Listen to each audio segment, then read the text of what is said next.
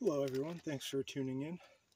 Today my Mora knife arrived in the mail and I'm um, very happy about that. I'm very excited. The last Mora knife that I had uh, from previous videos from years ago, I took on a bike tour with me and I think I um, placed it on the back of my pack along with my Halt dog spray and I took off on the bike and it ended up falling on the road and I lost it. So this is um, happy to replace it. So let's open it up and, and, do a little demonstration with a little piece of fat wood, um, a couple hiking sticks that I'm making, and then I'll demonstrate using it as a baton on a very hard, dense piece of uh, fat wood. So here we go. Let's get everything in order. There we go. Open it up.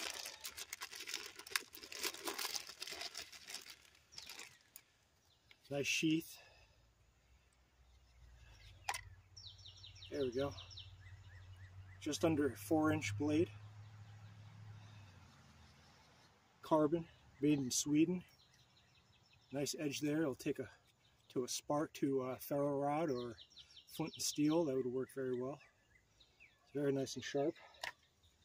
So here's some fat lighter wood, which is very dense I don't want to dull my blade, but there we go, right there.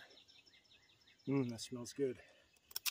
So right out of the package comes nice and sharp. This is only $10 for a knife of this quality. It's just, it's beautiful. Made in Sweden. So here's some hiking uh, trekking poles that I'm going to be working on. It's one of the projects I'll have a few videos on.